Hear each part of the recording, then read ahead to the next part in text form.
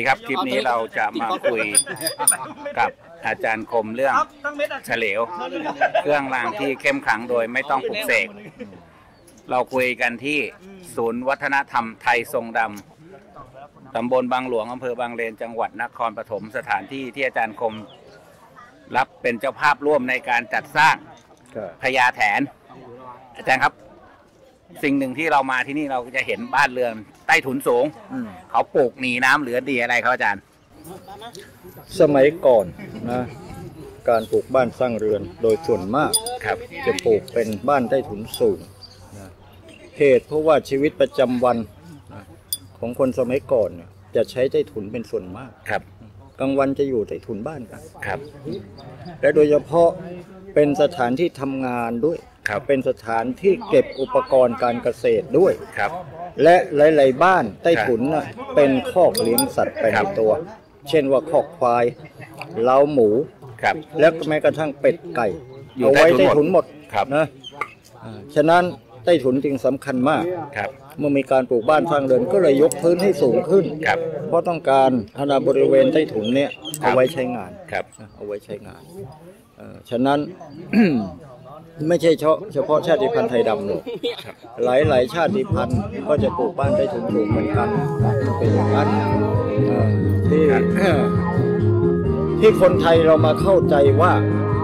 ปลูกบ้านยกพื้นสูงเพราะหนีน้ำนั้น จึงไม่ใช่ความจริงครับเป็นการเข้าใจผิดครับนะเพราะคนไทยเราเนี่ย ศึกษาประวัติศาสตร์ มักจะศึกษาวงแคบครับ ไม่ค่อยไปดูที่อื่นเขาหรอกครับ ดูเฉพาะในพื้นที่ของตัวเอง แล้วก็ไปตีความหมายความเข้าใจเอาเองนะบ้านแล้วก็มาบันทึกประวัติศาสตร์ ถึงได้ผิดเพี้ยนกันไปหมดครับเป็นอย่างนั้นบ้านใต้ถุนสูงของที่ปลูกที่อื่นที่ใต้ถุนสูงกว่าภาคกลางเนี่ย มีมโหฬารเยอะแยะแม้กระทั่งที่อยู่ชายเขาอยู่บนเขา น้ำท่วมไม่ถึงไม่มีน้ำท่วม เขาก็ปลูกใต้ถุนสูงเหมือนกันใต้ถุนสูงเหมือนกันอ่าเอ่อบ้านชาวเขาหลายๆเผ่า ครับ เท่าที่ได้ไปเห็นมานะ จริง บางเผ่าเนี่ยเขาอาจจะปลูกอยู่กับพื้น ครับ เหมือนลงเจ๊กที่เราเรียครักบสมัยก่อนลงเจ๊กลงเจ๊กลงเจ๊กครับ แต่ว่าอ่าอย่างเช่นว่าที่จังหวัดน่านนะครับอ่าเผ่าล้วครับเผ่าล้วก็อยู่บนเขาเหมือนกัน ครับ เขาสูงด้วย แต่ว่าครับก็ปลูกบ้านใต้ถุนสูง ครับนะบ้านใต้ถุนสูงเหมือนกัน และการดำรงชีวิตหรือดำรงชีพคล้ายๆกันครับ คือใช้ใต้ถุนเนี่ยเอ่อในการในชีวิตประจำวันนะครับ ในแต่ละวันละวันส่วนมากใช้ใต้ถุนหมดครับเป็นอย่างนั้นฉะนั้นไม่ใช่เรื่องแปลก ไม่ใช่เรื่องแปลกเป็นเรื่องธรรมดา ใต้ถุนสูงเนี่ยเขาปลูกหนีสัตว์ร้าย ถ้าหากว่าเป็นชาติพันธุ์ไทยดำเนี่ยคาดว่าอย่างนั้น เพราะสมัยโบราณโบราณนั้นเราอยู่ในป่าในดง ครับ เราอยู่กันตามหุบเขาครับนะใช้ชีวิตอยู่กับป่าดง ครับ ซึ่งในป่าดงนั้นแน่นอนที่สุดมันย่อมมีสัตว์มีอสรพิษ ครับ จึงยกใต้ถุนบ้านสูงกว่าหลายหลายๆชาติพันธุ์นะไม่ได้หนีน้ำไม่ได้หนีน้ำ หนีสัตว์ร้าย หนีสัตว์ร้ายครับ นะเพราะกลางค่ำกลางคืนเวลาเราหลับนอนแล้วเนี่ยนะเอ่อ สัตว์ป่าที่ดุร้ายมีเยอะ ครับ เมื่อสัตว์ป่าที่ดุร้ายมีเยอะจึงต้องระแวดระวังครับนะการระแวดระวังนี่ก็คือหนึ่งการที่เราจะหลับจะนอนให้ปลอดภัยเนี่ยครับใต้ถุนบ้านจะต้องสูงครับ นะและโดยเฉพาะพื้นบ้านไทยดำเนี่ยนะเขาไม่ได้ทำเสมอเสา เดี๋ยวก่อน ปกติเนี่ยถ้าภาคกลางเนี่ย เราจะพอดี ใช่ พอดีเห็นฝาเนี่ยมันจะเสมอเสาใช่ไหมฝาบ้านเนี่ยตัวเรือนเนี่ยจะอ่าเออแต่ถ้าบ้านไถ่ทรงดำนี่ยังไงอ่าก็คือโดยรอบบริเวณพื้นบ้านทั้งหมดอะมันจะยื่นออกไป ยื่นออกไปมากกว่า โดยรอบเลย โดยรอบเลยอ่าก็เขาประมาณอย่างน้อยหนึ่งเมตร อย่างน้อยหนึ่งเมตรเขาทำเพื่ออะไรเอาเวลาเสือมันปีนเสาขึ้นมาเห็นไหมเวลาสัตว์ร้ายหรือมันกระทั่งงูเนี่ยครับมันปีนเสาขึ้นพอมาถึงตรงนี้มันเข้าไม่ได้แล้วมันมันมันมันเอาติมันดจะไปติดพื้นบ้านแล้วติดพื้นบ้านอืมแต่ถ้าเป็นบ้านคนไทยภาคกลางเนี่ยอ่าถ้าโดนอ่า ถ้าเป็นแบบนั้นมันก็ตะกายฝาเข้าไปได้ เข้าครับหน้าต่างได้อะไรได้ครับเห็นไหมแต่ถ้าแบบนี้พอไปถึงตรงนั้นน่ะมันไปไม่ได้แล้วครับแล้วโดยเฉพาะนอนกลางคืนน่ะเขาชักบันไดขึ้นกันสัตว์ร้ายการสัตว์ร้ายจะปีนขึ้นไป มันเป็นอย่างนั้นอาจารย์เครื่องเครื่องรางของไทยทรงดำหนึ่งที่อาจารย์อยากจะคุยถึงเนี่ยอะไรครับ อันนี้เขาเรียกเฉลว ถ้าเป็นเฉลวภาษาไทยไทยทรงนำเขาเรียกตะเหลวอืม ตาเหลวอืมสระเอนะครับหอหีบ แต่ถ้าเป็นของไทยเนี่ยเฉลว เฉลวอืมตาเหลวกับเฉลวเหมือนกันแต่การเหมืแบอนบกัน ขนาดมันเหมือนกันไหมอาจารย์ขนาดไม่เป็นที่แน่นอน ครับแล้วรูปลักษณ์ก็มีหลายรูปลักษณ์ครับ มันจะมีหกเหลี่ยมแปดเหลี่ยม แล้วก็สามเหลี่ยม อันนี้นี่กี่เหลี่ยมจ๊ะอันนี้หกเหลี่ยมหกเหลี่ยมอ่าอันนี้เขาทำไว้เพื่ออะไรโดยโดยส่วนหลักก็เวลามีพิธีกรรมสำคัญสำคัญ ครับ เขาจะต้องทำขึ้นมาเพื่อปักสี่มุมบ้าน ครับหรือว่ามณฑลพิธี มณฑลพิธีอ่าในความเชื่อนั้นว่าครับ ป้องกันสิ่งชั่วร้ายจิตวิญญาณคุณใสยหรือว่าพูดผีปีศาจครับ นะสามารถป้องกันได้ครับ ทั้งทั้งที่ไม่ได้มีการปลูกการเสกใดๆนะ นี่มันเอาไม้มาขัดกันเนี่ย ใช่ เอามาขัดกันเป็นรูป เนี่ย รูปอ่ารูปหกห้าเหลี่ยมหกเหลี่ยมเนี่ย อ่าตกลงห้าเหลี่ยมหรือหกเหลี่ยมจ๊ะอันนี้หกเหลี่ยมหกเหลี่ยมหนึ่งสองสามสี่ห้าหกนะหกเหลี่ยม อันนี้อ่า ห้าเหลี่ยมหกเหลี่ยมมันสำคัญตรงไหนไหมอาจารย์หรือหรือแล้วแต่คนใจอืมตารอบตัว คือไอ้ไอ้ความสำคัญของเหลี่ยมนี่เราไม่สามารถที่จะสืบทราบได้ครับ นะไม่สืบทราบได้ แต่ไอ้ตาเนี่ยมันมีเยอะนะครับ เออหนึ่งการสารขัด ครับ การสารขัดเนี่ยก็คือมัน คำว่าขัดมันมาจากคำว่าสกัด คำว่าสกัดหมายถึงการห้ามครับนะคือสกัดได้หมดแล้วครับ นะแล้วตามันเยอะเนี่ยเขาเรียกว่า ตามันรอบตัว ครับ ถ้าเป็นทางไทยเขาเรียกว่าเท้าพันตาพญาพันวัง มาทางไหนเห็นหมดมันเป็นคืออย่างนั้น ผมไปเจอแถว แถวนครพนมเนี่ย เขาจะปลูก ปลูกสับปะรดไว้ เป็นเฝ้าบ้าน ผมงงเลยเขาบอกว่าปลูกปลูกสับปะรดเฝ้าบ้านได้ ตาเยอะไงปลูใช่กสับปะรดเฝ้าบ้านได้เขาบอกว่าทำไมเหรอผมก็ถามเขาทำไม เขาบอกว่าเรื่องที่เราไม่เห็นเนี่ย ถ้าเราปลูกสับปะรดเนี่ย เดี๋ยวเราจะได้ยินได้เห็นเอง อันนี้ลักษณะเหมือนกันอาจารย์ เหมือนกันเป็นความเชื่อนะครับสับปะรดกระตามันรอบตัวอันนี้ก็ตาเยอะนะเขาเรียกตารอบตัวครับเป็นอย่างนั้นแม้กระทั่งพิธีกรรมขึ้นบ้านใหม่ครับนะขึ้นบ้านใหม่ ปัจจุบันนี้นะครับเวลเอ่อวันไหนที่เราจะเข้าไปอยู่บ้านนั้นได้เลิกษ์ได้ยามดีเขาจะต้องหาสับปะรดหัวที่มันสวยๆหน่อยนะงามๆเนี่ย เอากลิ้งตั้งแต่ประตูบ้านเนี่ยพอเราก้าวเท้าเข้าประตูบ้านนะเอาสับปะรดเนี่ยกลิ้งไปที่พื้นบ้าน ตั้งแต่หน้าบ้านไปจนถึงสุดก้นครัวเลยอืม แล้วก็วางไว้งั้นสามวันค่อยเอาออก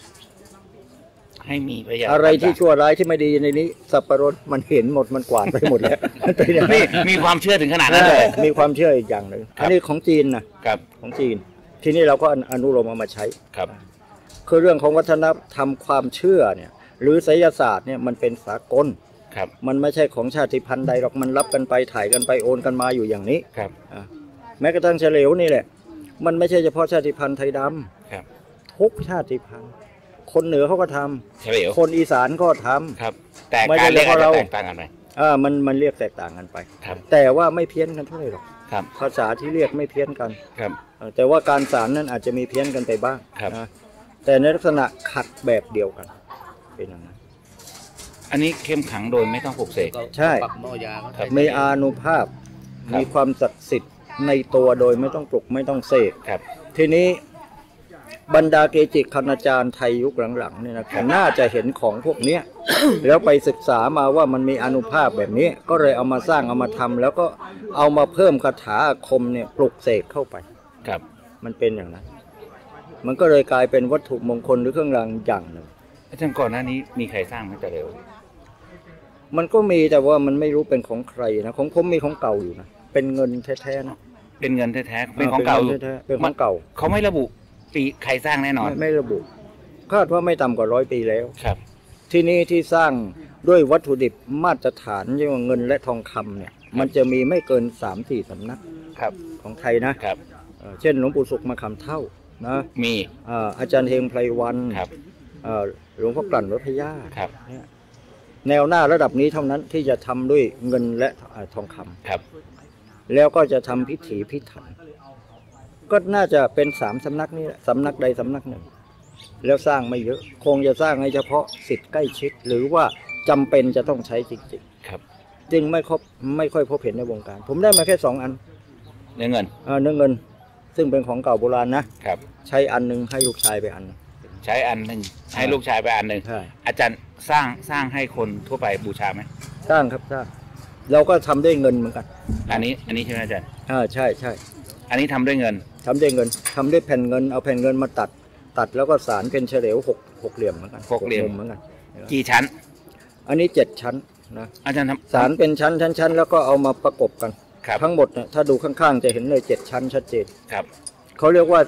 เฉลียวเพชรเจ็ดชั้นถ้าเจ็ดชั้นถึงจะเรียกเฉลียวเพชรอ่าเฉลียวเพชรเนี่ยต้องมีเจ็ดชั้นเป็นไงครับ สามารถเรียกว่าอ่ามันมันจะเทียบกับวิชากำแพงแก้วเจ็ดชั้นครับ นะเป็นวิชาตัวเดียวกัน ครับ มีอานุภาพมากกว่าเฉลียวชั้นเดียวครับ เป็นอย่างนั้น เขาใช้ป้องกันอะไรบ้างอาจารย์ ถ้าถ้าถ้าถ้าสารแบบนี้เนี่ยใช้ป้องกันอะไรบ้าง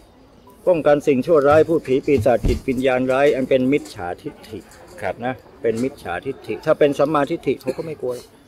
ครับ เป็นมิจฉาทิฏฐิ มิจฉาทิฏฐิเป็นผีที่ไม่ดีครับ หรือว่าเป็นคุณใสยประเภทพวกลมเพลลมพัดครับที่เขาปล่อยมาโดยไม่ได้ตั้งใจนะเขาต้องปล่อยเขาไม่ได้ปล่อยใส่ใคร ไม่ได้ปล่อยใส่ใครครับ บรรดาผู้เรียนคุณใสยนะเรียนมนต์ดำเนี่ยพอถึงวันโกนวันพระสิบสี่สิบห้าค่ำเขาจะต้องปล่อยของครับ ถ้าไม่ปล่อยตัวเขาอยู่ไม่ได้ครับนะ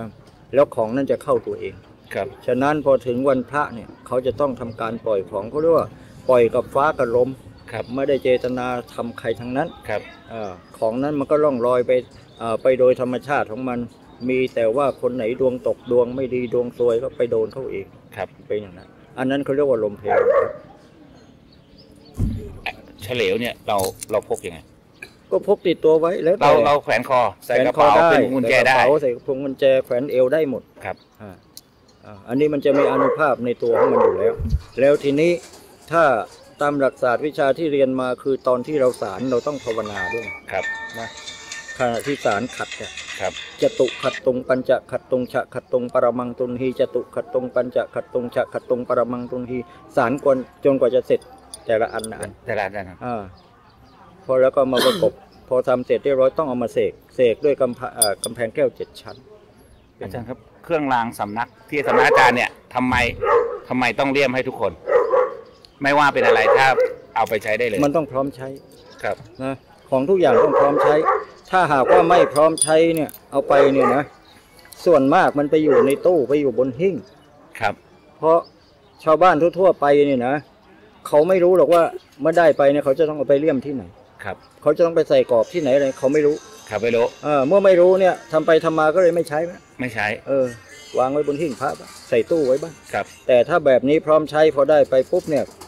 ถ้าเขาไม่ห้อยคอเขาก็จะต้องเอาใส่พวงกุญแจเขาใช้แน่นอนครับ เมื่อเขาใช้ประสบการณ์มันก็จะได้เกิดครับ แต่ถ้ามันไปอยู่ในตู้ไปอยู่บนหิ้งพระมันก็ไม่มีประสบการณ์เลยอาจารย์เฉลียวนี่ทำมากี่ปีแล้วเฉลียวนี่เพิ่งทำได้ประมาณสามปีมั้งทำมาสามปี สามปีทำแล้วก็เก็บเอาไว้ไม่ได้เอาออกมาเนี่ยเพิ่งจะเอาออกมาประชาสัมพันธ์นี่ครับ เพราะว่าเครื่องรางวัตถุมงคลโอ้โหมันเยอะมันประชาสัมพันธ์ไม่ไหวหรอกมันเป็นโกดังอะทำไว้อะเป็นโกดัง เป็นโกดัง ครับ ทีนี้พอเราทำเสร็จเราก็เก็บใส่โกดังใส่โกดัง ครับ นึกถึงอันไหนได้ก็เอาออกมาอันนี้เฉลียวนี่เพิ่งเพิ่งเอาออกมาประจำสามปีแล้วเพิ่งจะเอาออกมาประชาสัมพันธ์ หลังจากลูกศิษย์ลูกหารับรู้แล้ว นิยมเป็นที่นิยมไหมเป็นที่นิยมฮะเพราะประสบการณ์มันเกิดนะอานุภาพมันเกิด ครับ ก็บางคนที่เขาเชื่อในเรื่องของการจับพลังอ่า นะครับก็มีลูกศิษย์ที่เขาเอาไปแล้วเขาเอาไปให้เพื่อนเขาจับพลัง ครับ แล้วเขาเชื่อว่ามันมีเอ่อมีพลังความ ศักดิ์สิทธิ์หรือว่าพลังพุทธคุณมหาศาลเขาว่างั้นอาจารย์พวกเครื่องรางเนี่ยเรานี่เข้าได้ทุกสถานที่ ทุกสถานที่นะครับเอ่อไม่ไม่ถือถ้าเครื่องรางครับไม่เหมือนพระครับนะถ้าพระยังจะมีข้อห้ามเยอะครับ แต่ถ้าตระกูลเครื่องรางได้หมดครับเป็นอย่างนั้นอาจารย์ครับก่อนจบคลิปนี้แนะนำนิดนึงว่าอาจารย์จะมาสร้างอะไรที่นี่เอ่อในวันนี้นะก็ได้รับเกียรติอ่า เชิญมาร่วมปรึกษาหารือในการที่จะสร้างรูปเคารพหรือว่ารูปปั้นองค์พญาแถนครับหรือว่าแถนหลวง ครับ ก็คือเป็นเทวดาในอุดมคติของไทยทรงดำหรือว่าเหล่าส้ม ครับจะได้ทำการก่อสร้างขึ้น ที่มูลนิธิไทยทรงดำประเทศไทยที่บ้านไผ่คกเนื้อครับนะเอ่ออำเภอบางเลนจังหวัดนครปฐม ครับ ในวันนี้ก็คือมาประชุมหารือกัน ครับ แล้วก็หาข้อตกลง คือการสร้างนั้นสร้างแน่นอน ครับ เพียงแต่ว่าเราจะกำหนดเรียกว่าปฐมมาเลิกษ์ในการที่จะสร้างวันไหนเดือนไหนเท่านั้นเองครับนะแล้วก็อีกอย่างหนึ่งก็อุปสรรคสำคัญก็คือเรื่องสตังค์นั่นแหละเรื่องเงิน เพราะมันใช้เงินเยอะ พอสมควรเออพอสมควรนะแล้วโดยเฉพาะภาวะเศรษฐกิจแบบนี้ครับ แล้วโดยเฉพาะแถนหรือว่าเอ่อเทวดาของไทยทรงดำเนี่ยมันเป็นอุดมคติของไทยดำนะครับ ฉะนั้นมันก็เลยต้องอาศัยพี่น้องไทยดำด้วยกันครับนะอ่า พี่น้องไทยทรงดำหรือว่าชาติพันธุ์ไทยดำของเราเนี่ยไม่ว่าจะอยู่ณหมู่บ้านตำบลใดจังหวัดใดหรือว่าประเทศใดก็ตามนะอ่าให้มาช่วยกันครับให้มาช่วยกันสละคนละเล็กคนละน้อย มากบ้างน้อยบ้างนะสามัคคีกันช่วยเหลือกันรักษาชาติพันธุ์ของเราเอาไว้ครับแล้วก็รักษาความเชื่อและประเพณีของไทยดำของเราไว้นะถ้าหากว่าเราสร้างพญาแถนนี้ได้สำเร็จ นั่นก็แสดงว่าชาติพันธุ์ไทยดำของเรายังสามัคคีกลมเกลียวเหนียวแน่นนะมันเป็นการยืนยันเลยว่ายังสามัคคีกลมเกลียวเหนียวแน่นนะเอ่อแล้วก็เมื่อสร้างสำเร็จแล้วเราก็ได้มีพิธีการสมโภชอีกนะแล้วก็ประเพณีเราก็จะทำแบบเอ่อมันต้องเป็นทวิภาคี มันต้องทั้งไทยทรงดำเราทรงมั่งไทยบ้างครับมันจะต้องผสมผสานกันไป เพราะไหนๆเราก็อยู่ประเทศไทยมาตั้งสองร้อยกว่าปีแล้วครับนะ สามัญสำนึกจริง ๆ เราก็คือคนไทยแล้วแหละครับแต่เรายังรักษาชาติพันธุ์ของเราไว้แค่นั้นเอง อาจารย์เวลาประกอบพิธีกรรมเนี่ยอาจารย์ผสมผสานกันสองผสมผสานผสมผผสานสมผสานกัน อ่าทุกขั้นตอนพิธีกรรมก็คือเราจะต้องมีผู้รู้ทางฝ่ายไทยดำของเราเนี่ยครับ มาทำพิธีก่อน ครับ แล้วเราก็ทำพิธีแบบไทยของเราผสมเข้าไปนะอาจารย์บอกว่าที่คุยกันเนี่ยจุดเสี่ยงทายนี่สำคัญแล้วว่าจะตั้งตรงไหน ใช่ใช่ต้องทำพิธีเสี่ยงทายก่อนครับ นะในพื้นที่ที่เราจะสร้างนะตรงไหนที่ เจ้าที่เจ้าทางเขาอนุญาตให้สร้าง ครับ และสร้างแล้วจะดี อ่าการปลูกบ้านสร้างเรือนอะไรเหมือนกันทุกอย่างครับ ครับ เพราะว่าพื้นที่แต่ละพื้นที่ทุกที่เขามีจิตวิญญาณของเจ้าที่เจ้าทางครับเขาดูแลรักษาอยู่ ในเมื่อเราจะไปอยู่อาศัยตรงนั้นหรือไปสร้างถาวรวัตถุในพื้นที่ของเขาต้องบอกเขา ครับ บอกเขาแล้วก็ขอคำชี้แนะจากเขานั่นแหละว่าตรงไหนที่อนุญาตให้ และสร้างไปแล้วเนี่ยสถานที่ตรงนั้นจะมั่นคงและเจริญรุ่งเรือง ครับสำหรับคลิปเฉลว เครื่องรางโดยขลังโดยไม่ต้องปลุกเสกกับอาจารย์คมแค่นี้ครับ สวัสดีครับ